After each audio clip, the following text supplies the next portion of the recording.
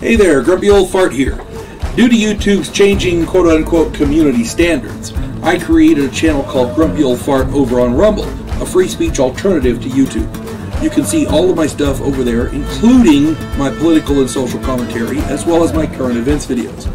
The links to my YouTube and Rumble channels, as, as well as links to let you order my books, are in the description of this video.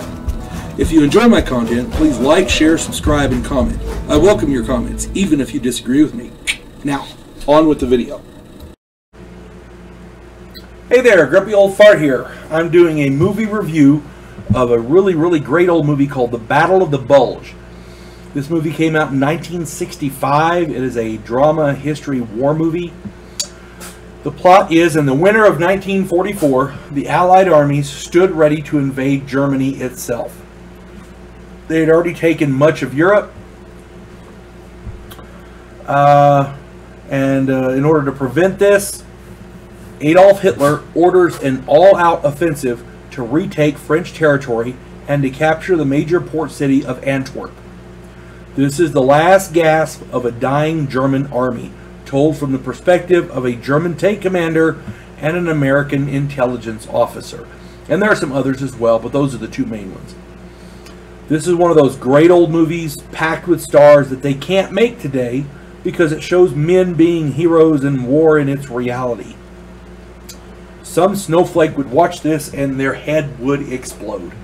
Um, this today, the closest thing I can think of of of this kind of a of a, of a massive uh, motion picture undertaking would be something like the Avengers movies, where you have all those big name stars and and the big budget and like that. This was like that, but back in '65 everybody in this was a huge star and everybody loved it. Everybody loved the, the, the, actors. Everybody in this is good. The cast, you got Henry Fonda, you got Robert Shaw, Robert Ryan, Dana Andrews, Ty Hardin, uh, Pier Angeli, George Montgomery, Charles Bronson, Hans Christian Blech, uh, Werner Peters, James MacArthur, Telly Savalas. Everybody's in this movie. Um, I, I what I liked about this was it showed the thought process. Many war movies, it's just your uh, their soldiers are in a specific area and they're doing something, and oh no, we have to do this, we have to do that, we have to do this. Well, this one shows the thought process. You get a look into the mind of an intelligence officer. You get a look into the mind of a military commander who's thinking. You you you you you see what he's thinking you hear what he's thinking. You you and they don't you know pause with the bubble with the with the weird voice of how what they're thinking. That's not it. They actually say it out loud. This is why we're doing this. The the intelligence gathering, the the reasoning that you know behind their motivations. It's it's it's brilliant. You don't have writing like this anymore. It's absolutely wonderful. The three people that I chose as standouts for this, because I always try to do standouts, the first one is Telly Savalas. He plays uh, Sergeant Guffey. He's a, a tank sergeant. He plays a black marketeer, and his partner, a French woman who loved him, he didn't realize how she felt until right when he, when he was leaving.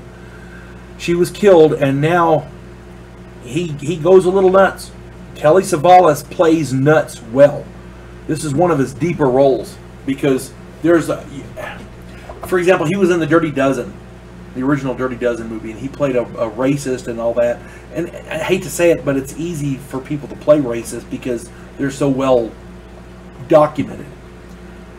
This is a much deeper role for him because he's a normal guy who was caught flat-footed by how his partner felt about him, and then he realized suddenly she's gone. That will mess with your mind that will mess with your mind. And in this, he's brilliant. He is absolutely brilliant. You got you got to watch it. You got to watch the show. The second one, Hans Christian Blech. He plays Conrad. This is guy. He, he's the assistant to the German tank commander.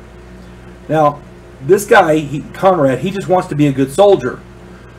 But over time, he thinks he's he's fighting for Germany What he's then he finds out later on that's not quite it. He, he, he becomes disillusioned over his boss's ultimate goal. This guy, he's when when people say that not all Nazis were bad, this guy wasn't a Nazi per se.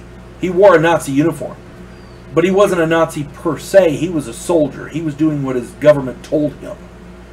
He just wanted to go home to his sons, his family, and his sons. You know, and he found out that the ultimate goal that his boss had wasn't the same goal he had.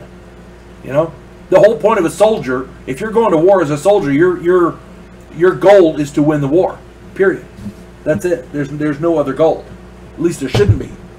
But this this tank commander that he was that he was under, uh, yeah, there, it was a different goal. So yeah, check him out.